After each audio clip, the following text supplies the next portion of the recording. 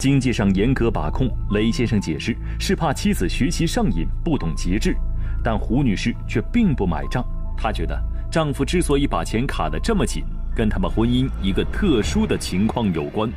由于我爸离了婚，为了我一直是终身未娶，没人跟着他说过话，我就在住在我们自己家了。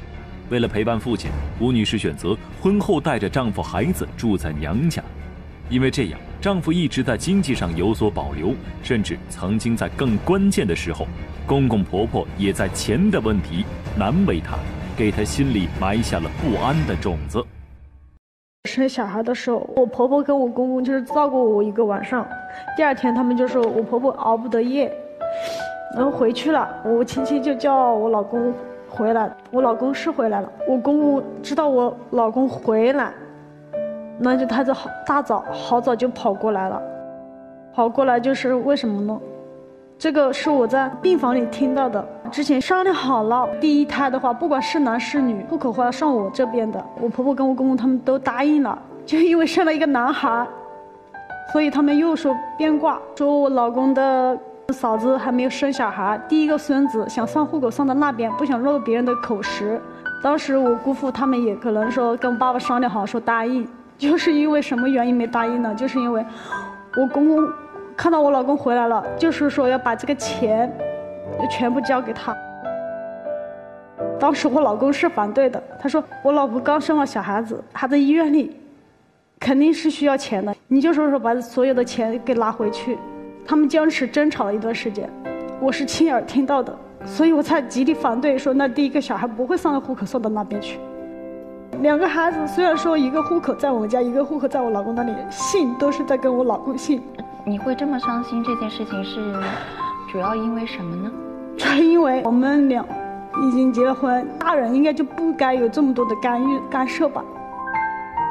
我没有经济来源呀，我在家生了小孩，我我后面的肯定没工作，我没钱的话，我要如何去这件事情的发生是让你觉得不安全了吗？对，极力的不安全。然后回想起来一系列的那些动作，他自己想过自己去。在县城卖个房子，他跟他们家人已经商量好了，不会跟我商量。我和他结婚，他不是嫁到我们家，我也不是去他们家上门，是吧？我自己开个店在县城里面，我一个人经营。我们是跟他们跟他父亲一起生活在一起嘛，还有两个小孩子嘛。我都是住在他们家，我家里啊，我基本上什么都没管。你也要理解我。你也要去照顾我家里人的感受，是不是？因为之前我们吵架吵了好多次，我父母啊，每次晚上就是我们吵架了，就从我们那里骑个摩托车骑到他们家，有几十公里嘛，就是半夜也会过来。看得出来，雷先生内心对于住在妻子娘家是有不满的，但过去胡女士安心在家，对他迁就，多少平复了他的内心。可如今，他觉得胡女士变了，总是想外出学习，事业心和生活态度更是和他呈现了对立的状态。这一次，妻子提出要花钱去重庆学习四十五天，让他到了崩溃的边缘。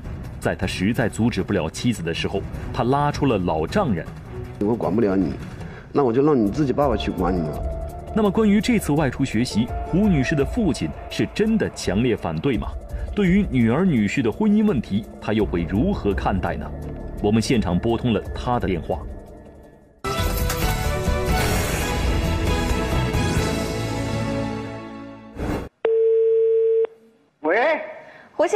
我们简单聊一下啊。呃，因为女儿这次要出去学习，在家里引发了挺大的事情的。我们想先了解一下啊，您是出于什么考虑不愿意让她去学习呢？